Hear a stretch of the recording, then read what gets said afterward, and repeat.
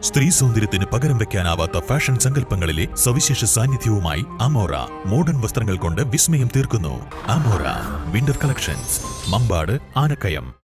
വന്യമൃഗങ്ങൾ റോഡിലേക്ക്. കേഞ്ചി റോഡിലും നിലമ്പൂർ നായാടംപൊയിൽ മലയോര പാതയിലും രാത്രിയാത്ര അപകടകരമാകുന്നു. കാട്ടാനകളും കാട്ടുപന്നികളുമെല്ലാം രാത്രിയാകുന്നതോടെ നിലമ്പൂരിലെ പ്രധാന റോഡുകളിലേക്ക് ഇറങ്ങുകയാണ്. ഇതുമൂലം ഈ ഭാഗത്ത് അപകടങ്ങൾ വർദ്ധിക്കുന്നതിനാൽ ഭീതിയിലാണ് യാത്രക്കാർ.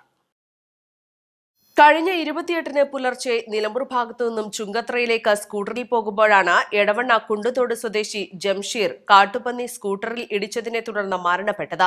വ്യാഴാഴ്ച രാത്രി ഒൻപത് മണിയോടെ നിലമ്പൂർ നായാടംപൊയിൽ മലയോരപാതയിൽ മൈലാടി പാലത്തിന് സമീപമുള്ള പെയിന്റിംഗ് വർക്ക്ഷോപ്പ് നടത്തുന്ന ബാജി കാട്ടാനയെ കണ്ട് ഓടി രക്ഷപ്പെടുകയായിരുന്നു.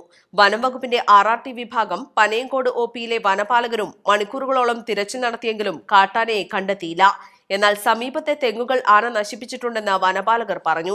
കഴിഞ്ഞ വർഷം അകമ്പാടം സ്വദേശിയായ ഉപ്പുടൻ അബ്ദുട്ടി എന്നയാൾ പുലർച്ചെ ടാപ്പിംഗിന് ബൈക്കിൽ ഭാര്യയോടൊപ്പം പോകുന്നതിനിടയിൽ മഹാഗണി ഭാഗത്ത് വെച്ച് കാട്ടുപന്നി തട്ടി അപകടത്തിൽ മരിച്ചിരുന്നു. രണ്ടു വർഷത്തിനിടയിൽ കാട്ടുപന്നികൾ ബൈക്കിലും സ്കൂട്ടറിലും ഓട്ടോറിക്ഷകളിലും തട്ടി അൻപതോളം പേർക്കാണ് പരിക്ക് പറ്റിയത്. കാട്ടാനകളും കാട്ടുപന്നികളും റോഡിലിറങ്ങി അപകടക്കെടിയൊരുക്കുമ്പോഴും അധികൃതർ നിസ്സംഗത തുടരുകയാണെന്നും ആക്ഷേപമുണ്ട്. മൈലാടി പാലം മുതൽ കനോലി പ്ലോട്ട് വരെ വനംവകുപ്പ് സ്ഥാപിച്ചിരുന്ന സോളാർ വൈദ്യുതി വേലി പല ഭാഗത്തായി കാട്ടാനകൾ നശിപ്പിച്ചു കഴിഞ്ഞു.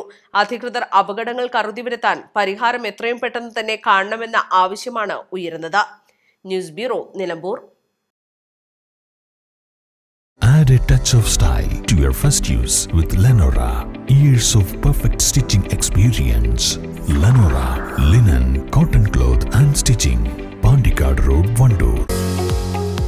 Manjeri ടൗണിൽ പ്രകൃതിയോട് ഇണങ്ങിയ ഒരു സ്വപ്ന വില മുപ്പത്തിയൊൻപത് ലക്ഷത്തി തൊണ്ണൂറ്റി ഒൻപതിനായിരം രൂപ മുതൽ സ്വന്തമാക്കാം